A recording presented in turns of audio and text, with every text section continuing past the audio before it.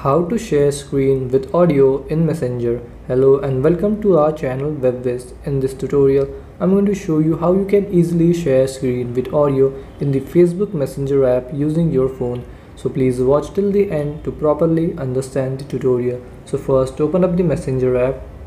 Then once you're in the Messenger app, go to the chat where you want to share screen with audio.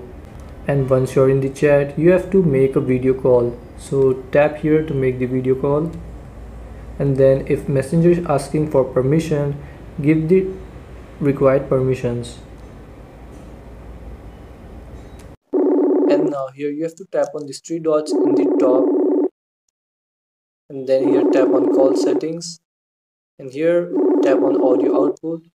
And select which audio you want to share. Your phone's system audio or you want to share your speakers audio. Then after selecting Now after you are in the call and want to share screen, you have to tap on bottom middle here in this icon. Then here you will see watch option, share option and play option. So if you want to share screen, you have to tap on share option. Tap on it and tap on start sharing and tap on start now and the screen will start to share.